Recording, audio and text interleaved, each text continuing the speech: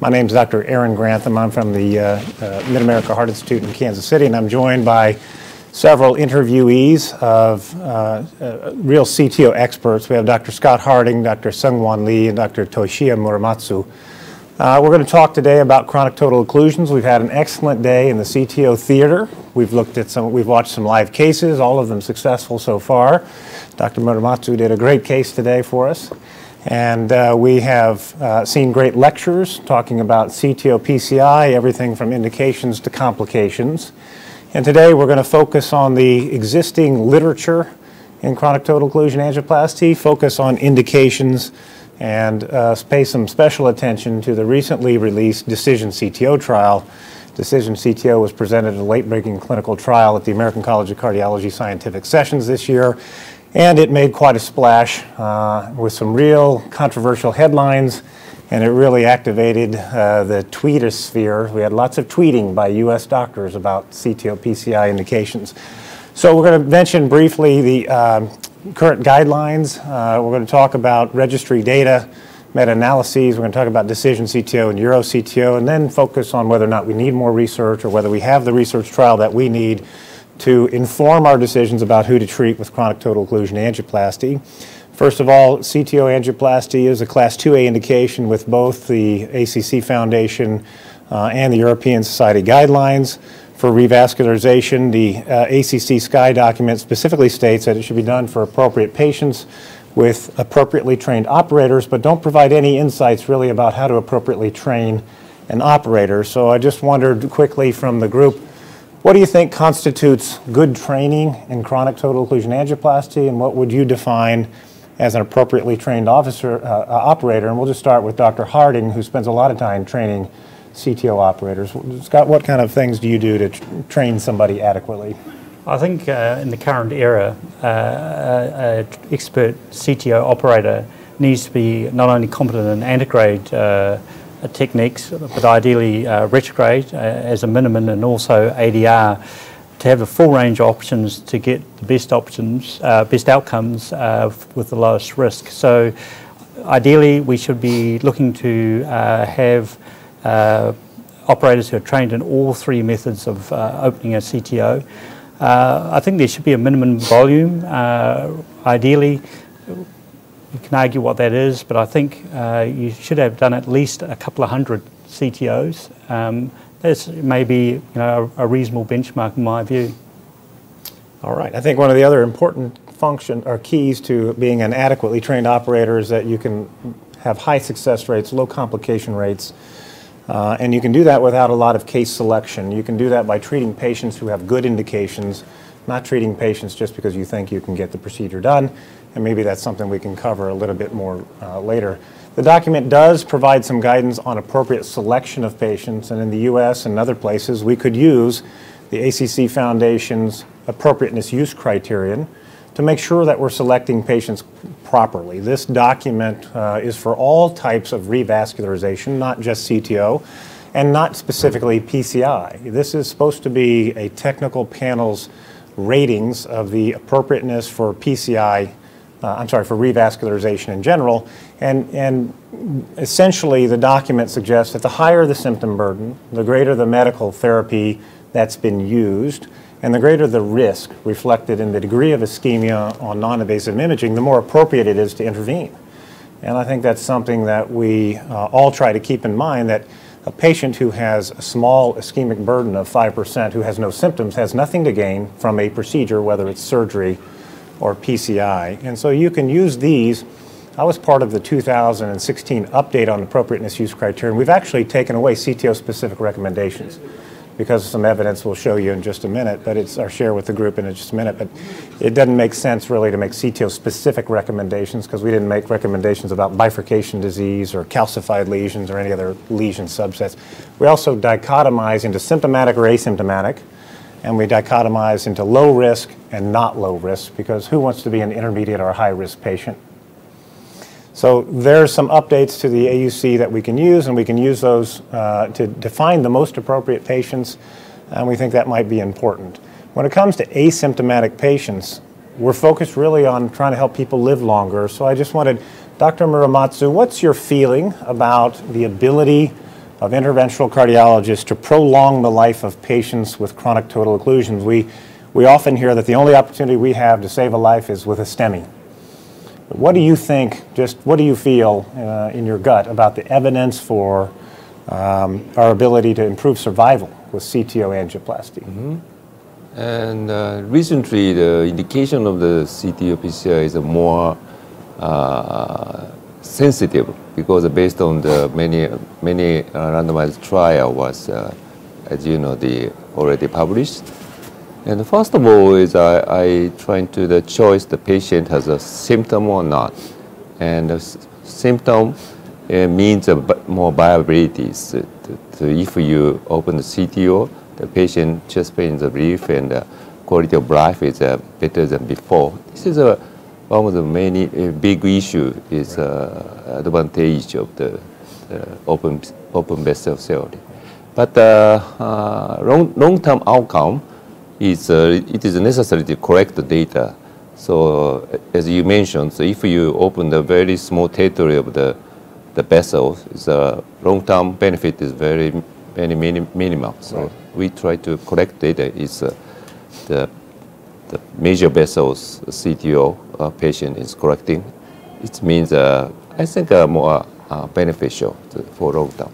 So to date, the data that we have consists of real of, of single and multi-center, prospective and retrospective, but no randomized trial data. This started from my institution, from the Mid-America Heart Institute. We published our 20-year experience in CTO PCI in 2001 and showed that uh, success compared to failure was associated with a survival advantage, associated with, not cause and effect, retrospective analysis. There have been about 30 trials now, five different meta-analyses. All of them have shown the same thing, that whether you look individually at the studies or you look at the grouped data in a meta-analytical process, you find about a 50% uh, risk reduction for mortality with success compared to failure. But these are multiple studies, uh, again, uh, that are confounded by the potential for unaccounted for bias. You know, they do all kinds of adjustment, but can never account for every, every form of bias. Uh, and those could, you know, that can be uh, anything you can think of and a lot of things you can't particularly think of. So clearly needs to be uh, more data for asymptomatic patients. At the very least, we'll have the ischemia trial. It's got some problems with it methodologically, but we'll have some more information from ischemia to decide if ischemia-based decision-making makes sense. But as, as Dr. Muramatsu alluded to, the majority of patients we see have symptoms. 75% of the patients in a registry called the Open CTO registry were treated, and the doctor said he was doing the procedure to improve the patient's symptoms. They had a really high amount of uh, baseline symptomatology. This is data from a different registry where my colleague David Safley from Mid-American Institute looked at the Seattle Angina Questionnaire domains, Rose Dyspnea scale scores, and the EQ5D, some health status scores at baseline and six months after successful CTO PCI, compared those to patients who had successful non-CTO PCI and showed that CTO PCI is non-inferior to non-CTO PCI for symptom relief when you ask patients how they're doing. So so Dr. Lee, how does the myocyte know a lesion is 80% occluded or 100% occluded? This data suggests the myocyte doesn't know. It'll give symptoms regardless of the degree of narrowing. Uh, as you know, the uh, CTO is totally different from the stenosis because of the sometimes the good collateral function patient even proximal already stenosis, uh, occlusion patient is mm-hmm. thallium spect is normal. Yeah. Uh, around 5 or 10 percent. So, so how does a patient who's completely asymptomatic get a thallium SPECT test? Why do they get a test? What led them to that? Uh, recently, there's some just random screening. Yeah, yeah. We have in our country the health promotion screening is the popular. Yeah. Nearly all population is have uh, screened uh, based on the uh, EKG. Yeah. So there is some problem. We really routinely check the CT angiography. Are you aware of a study that is population-based and suggests that there's a high frequency of patients with CTOs and no ischemia? Uh, based on our data, is the around 10 percent. The silent uh. is normal and the, mm -hmm. based on our data is uh, asymptomatic patients around the 20 or 30 percent. So you can say that around 10 percent of patients with CTOs have good collaterals. Yeah. But the rest don't. The rest have abnormal thallium tests yeah, or yeah, yeah. symptoms. Yeah, yeah. And as I alluded to in the open CTO trial, 75% of the patients were treated because of symptoms. Their collaterals, by definition, are not good enough because they have symptoms. So this notion that collaterals are good, it's for a very small proportion of the patients. And as we alluded to, using the appropriateness use criterion, if a patient has no ischemia and no symptoms, you can provide them with no benefits. Even the RAD, They shouldn't be in a, proximal RAD, no ischemia, no symptoms. What would the benefits be to the patient? Mm, mm, mm. You could hypothesize the double jeopardy phenomenon. You could suggest, well, if they're dependent on the right coronary artery, but very few patients are dependent on a sole source of collaterals. Most of the patients who have collaterals have them from both of the other arteries. So those are those are all provocative statements, but the real uh, you know the real meat I would say suggests that there are not a lot of patients who are non-ischemic from a CTO. I think we also need to differentiate between ischemia and viability because patients may be non-ischemic because their viable, muscle is non-viable. In other words, it's dead. So there is a group of patients that can have silent infarction Right. and be left with a CTO with non-viable muscle and have no ischemia. And certainly we don't want to be doing anything. Yeah, yet another group who stands to, to gain no benefit from CTO PCI. If the CTO subtends infarcted myocardium, there's, there's no advantage to treating them. We'll hear some more data from, from OPEN. Uh, again, this was presented at ACC this year, and I just wanted to give you a sense for the baseline symptomatology and ischemic burden, I'm sorry, and baseline symptomatology and medical therapy among these patients. These are 948 patients who had paired baseline and one-year uh, uh, data. Uh, so out of 1,000 patients, we had paired data in these 948. And if you look at their symptom classification by CCS class or by Seattle Angina Questionnaire, if you, do, if you ask the physician or you ask the patient, the mean Seattle Angina Questionnaire angina frequency score was 70. This is substantially impaired patient from angina. Their SAQ summary score, SAQ summary is a mean, it's an average of the Seattle Angina Questionnaire angina frequency, physical limitation, and quality of life scores. It's 62. That's pretty low, uh, suggesting pretty high symptom burden.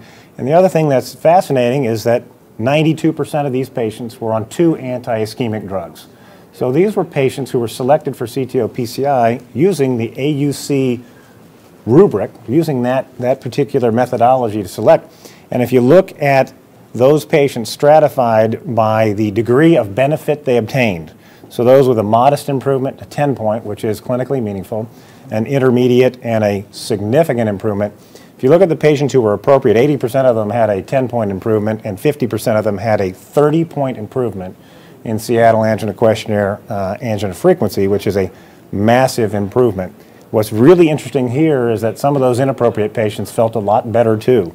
50% of the patients who were rarely appropriate by the new nomenclature had a substantial improvement in their symptomatology, had a 10 point improvement in, in symptoms when they had CTO PCI. So I think these patients, when they're selected, uh, or at least the patients that were selected in open CTO, had a lot of symptoms. They were on a lot of medical therapy, which may not necessarily be the case for a lot of the studies that were done out there. And then we come to the Decision CTO trial, and this is going to be the focus of our next 12 minutes of discussion here. See, Open uh, Decision CTO is the first randomized trial of CTO PCI versus optimal medical therapy. So PCI plus medical therapy versus medical therapy alone for patients who have a chronic total occlusion.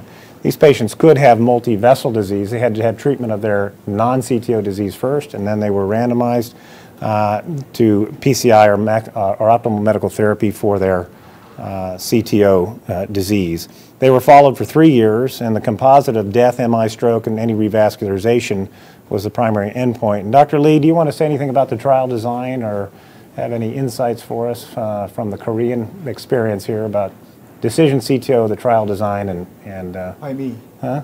By me. So initially we tried to the, at that time when I de- designed this the trial, the PCI is uh, better than, all data is PCI is better. So however, uh, when I, in real practice, I saw so many patients is stable during the medical treatment because of the, some patient is comorbidity, we cannot do that, the PCI. So 10 year, even the 15 year, there is no event. Like. So, and then we analyze our data. We already published in the, the met, among the one of the meta-analysis, the, there is no Mm-hmm. difference of the survivor and myocardial infarction. Yeah. There is some difference of the target region revascularization. So uh, we designed the maybe, uh, I think that there is no standard treatment in CTO. Medical is standard, I don't know. PCI standard, I don't know. So when, when I designed this trial, uh, maybe post-treatment is uh, uh, effective in, in my perception. So uh, uh, because of the most uh, patient is stable patient, so I, I want to try to, to make the uh, which what which treatment is better. However, Yeah. my boss, SJ, wanted to know the, because his patient also so many patients is stable during the medical treatment. So I kind of have the opposite experience. I- As a CTO operator and recognized around the country as a CTO expert, I get referrals from all over the country for patients who failed medical therapy, who aren't stable, who aren't happy, who have severe angina on their angina frequency scores, who have depression. some depression. portion, some portion. So, so I have a referral filter bias, right? I see the patients who failed medical therapy, uh-huh. And sometimes I wonder from people who never see these patients whether they're actually seeing all the patients back or whether their patients are seeking care elsewhere, and they're getting a referral filter bias because the patients who stay with them are the patients who are better. Mm-hmm. Interesting, interesting question. So here's one of the issues I have with the decision CTO trial, and that is SJ's fourth slide, which says, I believe the pathophysiology CTO is totally different with that of high degree of stenosis because they can't rupture and they have good collaterals. And that, to me, that's an expression of intellectual bias. Yeah. He has a mechanistic mm, uh, reason for not believing in CTO PCI, so it's very hard for somebody with an intellectual bias to design a trial that's not biased. And it's not a statement of ethics, it's a statement of the power of bias. It would be just as problematic as me designing it, who's so convinced that I'm helping all these patients so much.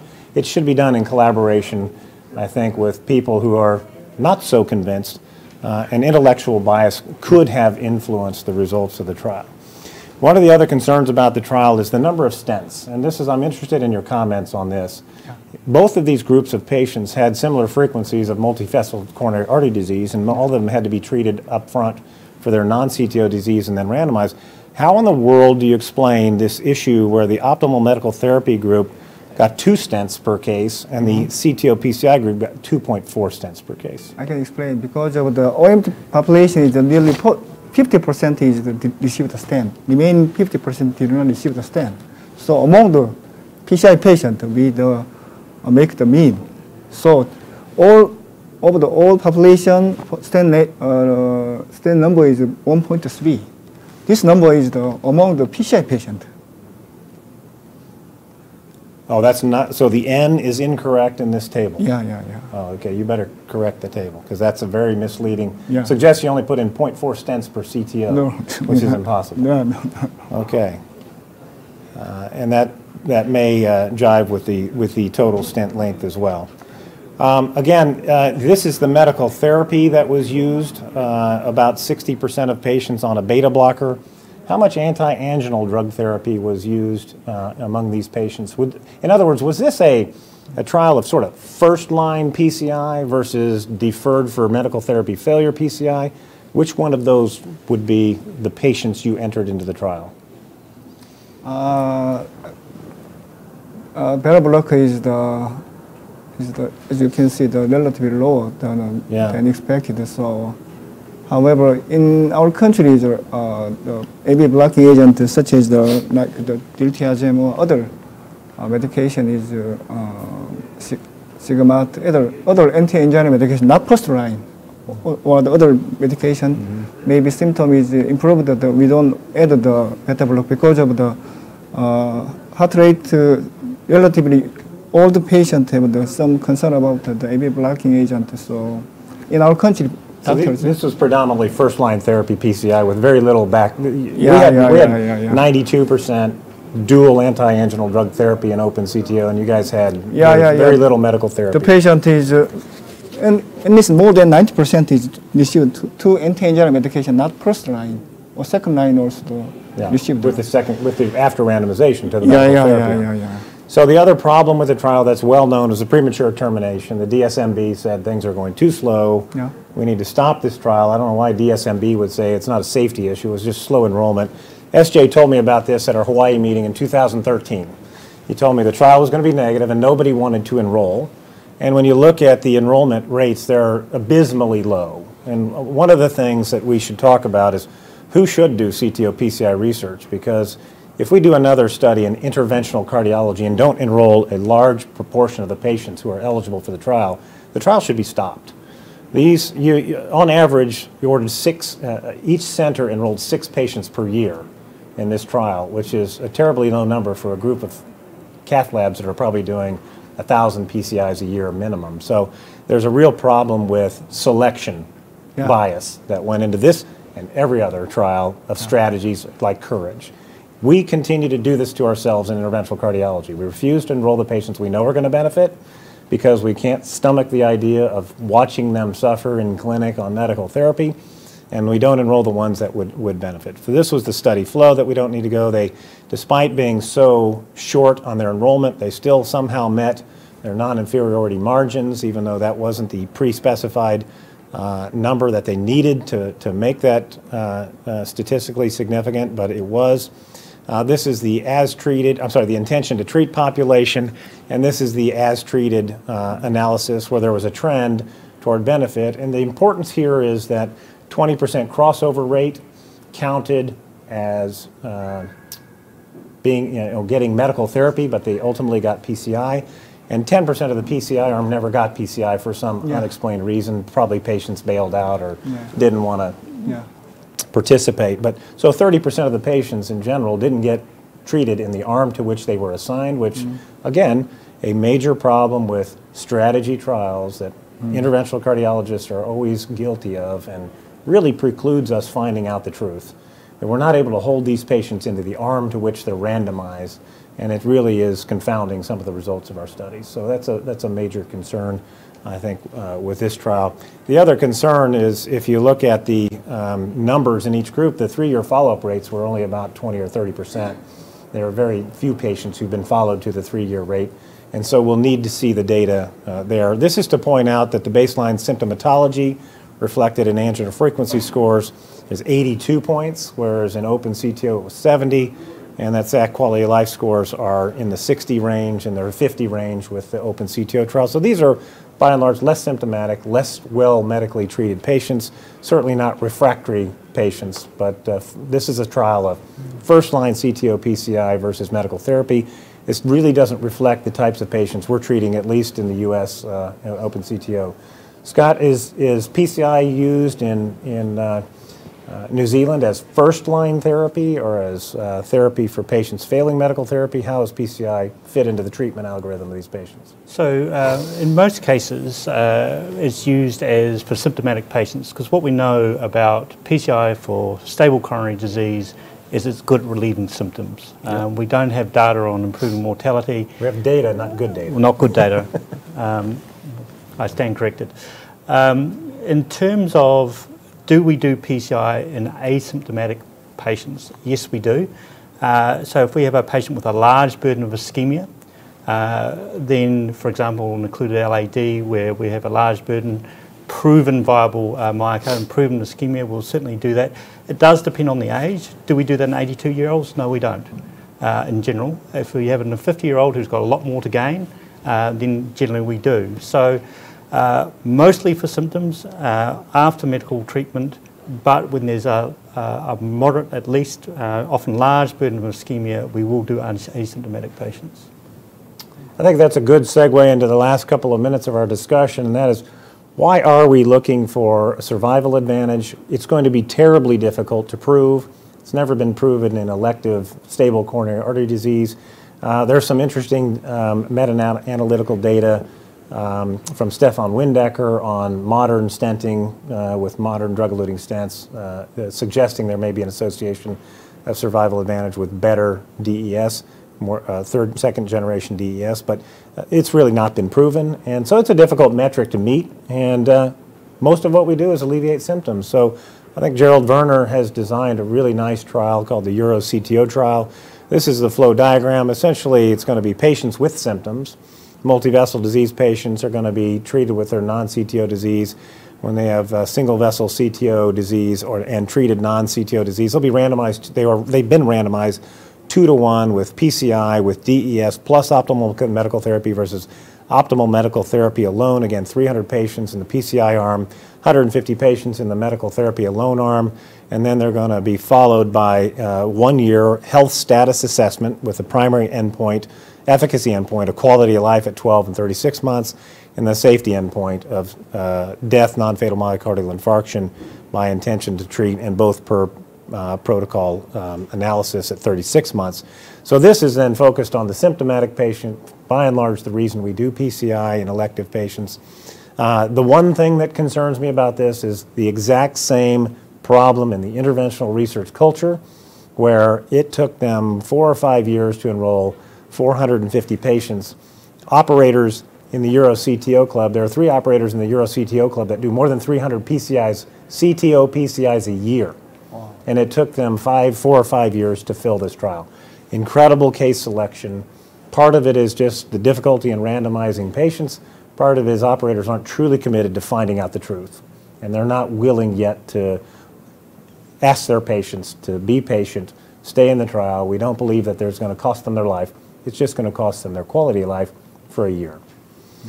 Things to consider as we move forward. If we have any time left, we can discuss what would be the next research trial in CTO PCI. Do you think we have all the answers?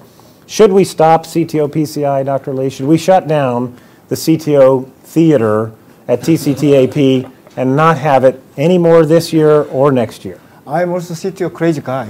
So, however, we, I wanted to know, know the role of the OMT because of the so many patients still receive the medical treatment in real practice. Yeah. Because of non-intervention, non-CTO intervention cardiologists dealing with the 90% of the CTO patient. CTO guys, I think the, around 5% of in the world. So I wanted to really want to know about the, the OMT role. Just it. I, I agree the CTO PCIs have some role how, and the OMT also have a role. Right? So, so what's your takeaway? Do you understand the role of PCI better now, and what's the difference now compared to before decision CTO? Uh, the detailed analysis showed that uh, in our decision CTO treatment, as treatment population, the PCI is benefit in ACS, LV dysfunction, and prior stroke and multivessel disease. However, multivessel disease is the same finding predictor in the both arm. PCI arm medical arm is predict for future event in even the P PCI or OMT group. So I think the ACS LV dysfunction prior stroke patient is benefit from the PCI.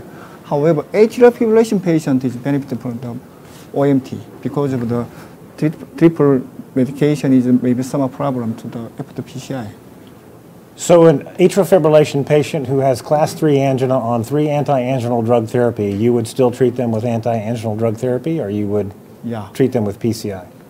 Uh, even, even the patient is uh, symptom is more than two or three, I, I do I do PCI. So that's the one thing I agreed with with decision CTO. The conclusion slide was CTO PCI should be reserved for patients who have failed medical therapy.